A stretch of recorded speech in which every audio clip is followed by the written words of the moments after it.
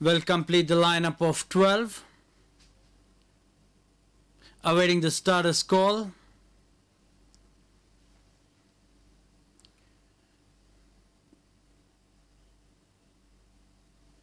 Thereof for the Coorg Plate Division 1 1200 meters is the journey Megan and Elevado, the first two runners to show out quickly joined on the outside by Mystical Merlin around the far turn. City of Hustle is racing two horses wide, followed next in the field by Rumor Lady. Star Hazim holds the fence. The Atlantis is racing wide, a break of four lengths behind as Miracle Honey with 750 to travel towards the inside as D Fighter, the one who's racing wide off the track as lead singer as they race up towards the 600 meters. Ras comes in next as the field of 12 runners negotiate the band and straighten up for the final running code of honor is last.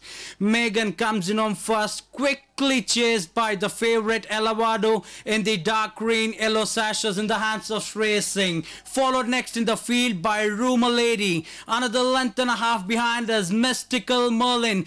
200 meters to travel. It's Elevado traveling smoothly, still about two lengths in front of Rumor Lady and the late finishing Star Azim. Elevado wins it about three lengths in front of Star Azim. Rumor Lady ends up third, followed next in